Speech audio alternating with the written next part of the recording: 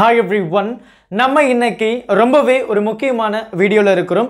11th standard ஃபிசிக்ஸில் இருக்கக்கூடிய example ப்ராப்ளமாக நம்ம டிஸ்கஸ் பண்ணிகிட்ருக்கோம் இருக்கோம் நம்ம பார்க்கக்கூடிய ப்ராப்ளம் ரொம்பவே ஒரு பேசிக்கான ப்ராப்ளம் இதில் ஒன்றுமே கிடையாது. அதுதான் உண்மை. ஸோ அதனால் நம்ம வந்து ஒரு ரெண்டு ப்ராப்ளமாக கண்டினியூஸாக பார்க்க போகிறோம் so 11th standard physics first சாப்டரில் இருக்கக்கூடிய எக்ஸாம்பிள் ப்ராப்ளம் தான். One point five and one point six இந்த ரெண்டு ப்ராப்ளமும் நம்ம பார்த்துடலாம். ஸோ என்ன கேட்குறாங்க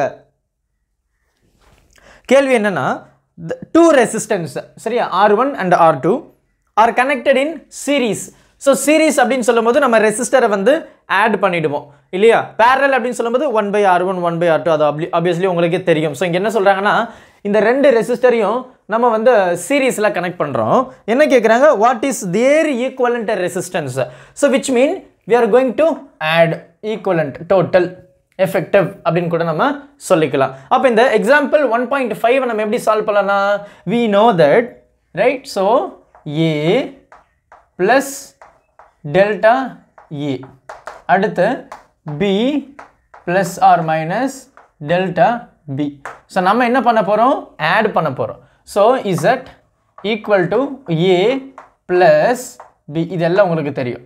அப்போ Z delta Z equal to add பண்ணும்போது நம்ம ஏ ப்ளஸ் பியை நம்ம தனியாக எடுத்திருப்போம். நீங்கள் படிச்சிருப்பீங்க. நம்ம அதை சால்வ் கூட பண்ணியிருக்கிறோம். Delta A plus delta B அப்படின்னு சொல்லுவோம். இல்லையா? ஃபார் அடிஷன் பர்பஸ் இதே வந்து நம்ம சப்ராக்ஷன் அதாவது இசட் ஏ மைனஸ் பி அப்படின்னு சொல்லும்போது இதனுடைய ரிசல்ட் எப்படி வரும்? Z delta Z equal to A minus B plus or minus delta A plus delta B அப்படின்னு நம்ம படிச்சிருக்கோம். இல்லையா? ஸோ இது வந்து நம்ம அடிஷன் சொல்லுவோம்.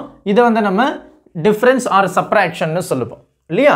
ஸோ இதில் இருக்கிற மெயின் டிஃப்ரென்ஸ் என்ன அப்படின்னா இந்த வேல்யூவை நம்ம ஆட் பண்ணுறோம் இங்கே செப்பரேட் பண்ணுறோம் எரர் பொறுத்த வரைக்கும் நம்ம எப்போவுமே ஆட் மட்டும்தான் பண்ணணும்.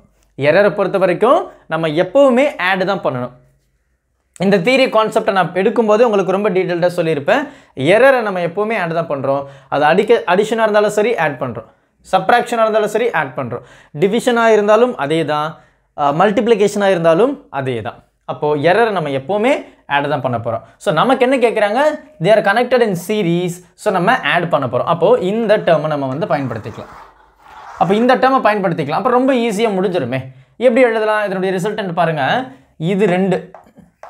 இது ஏ இல்லையா? இது பி அப்போ ஏபியை ஆட் பண்ணுறோம் அதானே?